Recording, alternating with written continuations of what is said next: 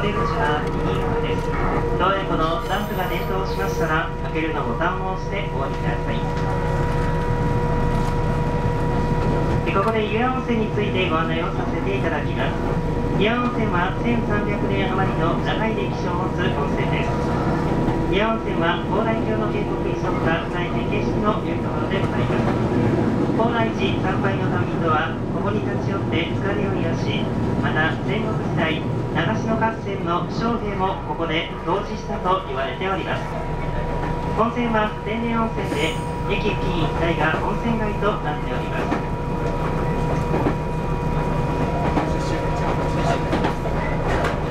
えここから先いくつかのえ箇所飯田線の見どころをえ中部電流まで紹介をさせていただきます。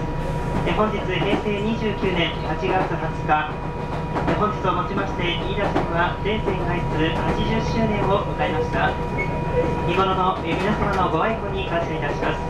今後もと JR 東海飯田線をよろしくお願いいたします。